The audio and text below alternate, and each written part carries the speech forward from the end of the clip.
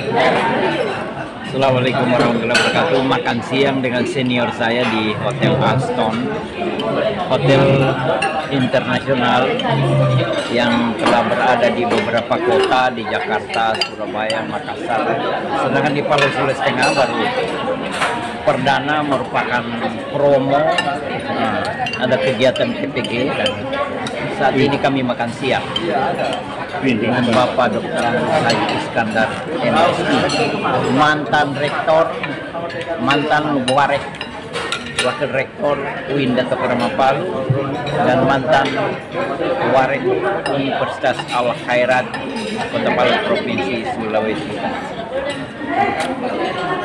Beliau tidak takut makan makan daging, masih segar beliau. Atas perhatian saya ucapkan terima kasih. Assalamualaikum warahmatullahi